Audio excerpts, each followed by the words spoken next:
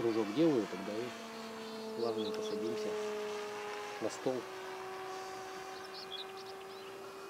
Аппарат летает в самолетном режиме, быстро, далеко, маневренно. Можно даже делать бочки и петли, но вот оператор пока что не готов продемонстрировать все Ну, виды высшего наш- пилотажа, наш да. Зато он прекрасно садится прямо сейчас. Осуществляет посадку. В ре- в режиме вертикальной тяги.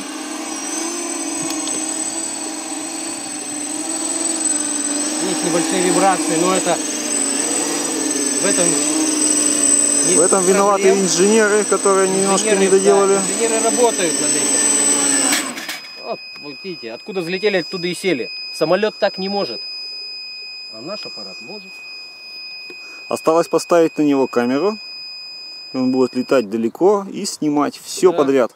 Как угодно. С пролетами, с низкими, С зависанием. под проводами, подарками.